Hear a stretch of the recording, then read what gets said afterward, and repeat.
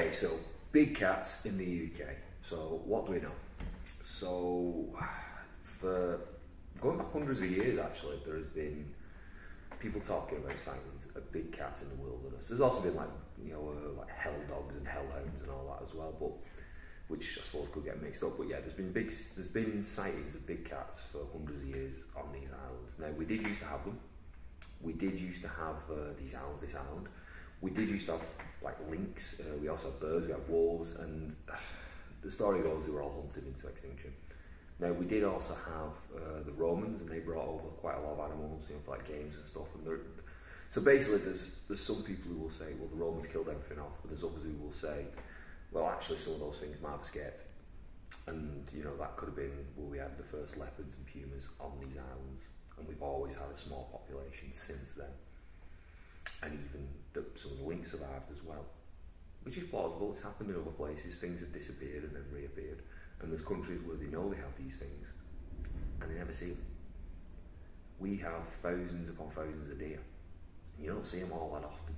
More often, rec- you know, recently, but still not that often. You never see bones. So, yo, the usual things you get thrown out. Well, what about blah, blah, blah, blah. So, yeah, so there's that. We definitely have enough prey.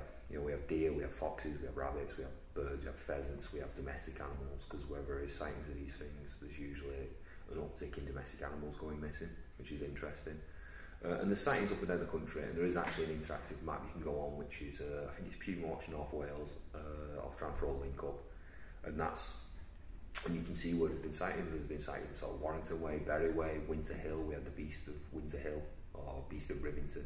Two guys rabbiting come across something like there's a sheep killed, like fresh carcass, and it was steaming, I believe, and something growled at them. See some eyes there some people talking about being maybe supernatural, but basically it, it sounds like if it if you believe in that it, they've come across a fresh kill for big cat, and that's probably the only time you would encounter any aggression from because these aren't going to be.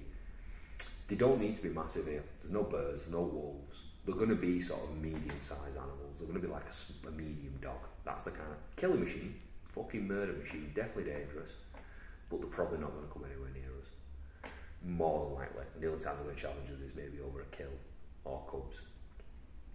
So, yeah, so we've got some history there that we think we've had for a while. Now, the history in terms of why they're here, so we've got that, the Romans, but we've also got, and that we did have them at one point, but we've also got the fact that, well, used to have, people used to be able to have them as pets. So people used to be able to have anything you wanted, tigers, lynxes, pumas, leopards, panthers, whatever. People had everything. And then the Dangerous Animal, Animals that came in the 70s, were essentially you had to have a small zoo to keep them and go through all these things. And a lot, of, so basically, I get rid of them. So your choice was find someone that take them. Most places were full. Euthanize them or let them go. And people let them go. You know, and bear in mind, this is how sort of abundant they were. People used to use to get scrapyards. People would have them in place of, like, you have a dog, you'd have a fucking puma you know, Tom Whalley in Wigan was famous for it. He used to own a couple, then he had a couple of pumas, and he was famous for walking down the street. One of the girls he used to work with used to live near him when she was a kid. She talked about, yeah, I remember him walking these pumas. And uh, I believe he used to have them in the pet shop and stuff like that. And that was just in our time. and it was, it was everywhere. And people released them. People come forward and said, oh, I've released them. And they would come and check on them and they'd find signs of them and stuff like that you could say the bullshitting, but that, that so you've got that. There is also another one where the troops uh, who came over from America supposedly brought uh, mountain lions over, like cubs, as like little mascots, and supposedly, you know, some of them got left here as well. So there's a couple of, there's a few places where they could have come from. So there's definitely the sources them, right? So could we have them? Well, there's a few possible places where they've come from there. There's one that we could still have lynx that just survived and got good at avoiding people. The Romans could have let some shit go because you know that could have happened. We could have had the American troops bring some over, and then we had just fucking thousands of people who had them as who potentially a small percentage of them got released into the wild, and then they bred. We've got hybrids. We've got you know ones that have bred together. So there's all these things now as I said, if you go on Google, there is sightings up and down the country, everywhere. And we can 100%, 100%, uh, we could support them on this island, right? 100% if they were here. Now there is, like I said, there is sightings, there's videos, there's news reports, there's photos, and they range from shit to compelling. So uh, the one I've talked about like a few times is there's a doorbell cam. A doorbell cam footage, I remember it's this big black thing, like a big black dog, but then it has a big curly tail. It just goes back, and it's like, wow, what is that? And there's a couple of drone ones I've seen that are very convincing. But then there's others where it's like a fucking stuffed animal in a field, and you're like, what the fuck is that? you know, and so the waters get muddy. There's people who come forward who are legitimate, you know, there's police officers in the past. I believe the BBC had a little documentary on it at one point where there's like this police officer talking about it, you know, like people I think they had an army hunting. That was back when they had the army hunting one as well, because there's been sightings everywhere. And I think local people were putting a bounty on it. They all got confused. But there's been a, there's a lot of history with them, right? And there's I said there's a lot of sightings. And I sort of feel like, well, there probably is some good evidence out there, better than what we can currently find. But I just wonder if people would release it.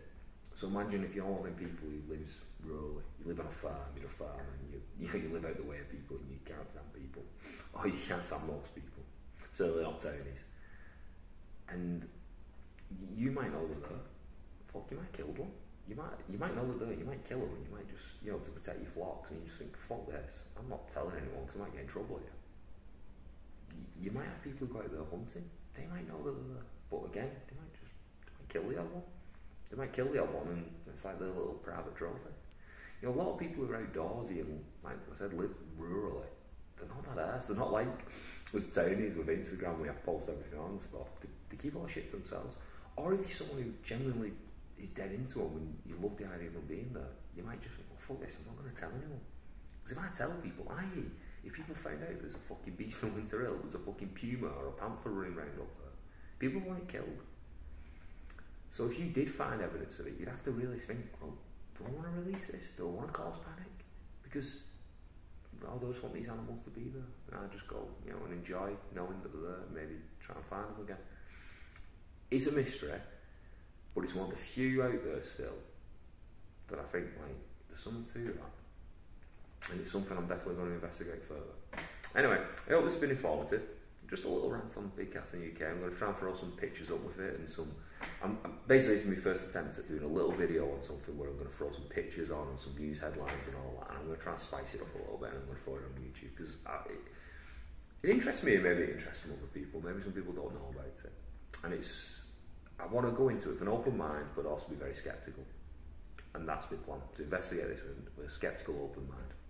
Anyway, it's been informative and see you on the next one.